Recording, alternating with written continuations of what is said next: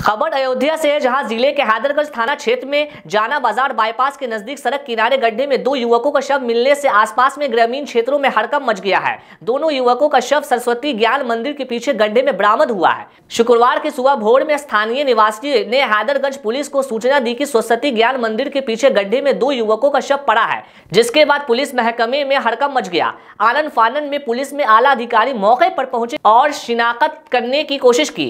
SSP Shailendra Pandey ने भी घटनास्थल पर पहुंचकर मौके का जायजा लिया है। माना जा रहा है कि दोनों युवकों की अनियंत हत्या कर थाना हैदरगंज क्षेत्र में शव के फेंक दिया गया है। बताया गया है कि युवक के कान से व दूसरे युवक के सिर से खून बह रहा था। पुलिस ने शव के पोस्टमार्टम के लिए भेजते हुए जाँच शुरू कर दी है। स्थानीय पुलिस ने दोनों मृतक युवकों के परिजन को सूचना दी है।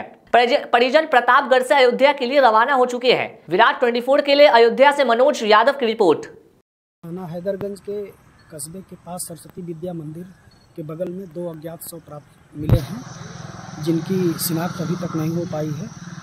पंचायतनामा अन्य आवश्यक कार्रवाई करके दोनों शवों को पोस्टमार्टम के लिए भेज दिया गया है। पोस्टमार्टम की रिपोर्ट के बाद अन्य विधिक कार्रवाई अमल में लाई जाएगी और दो अज्ञात शवों की जानकारी के संबंध में आवश्यक कार्रवाई की जा रही है।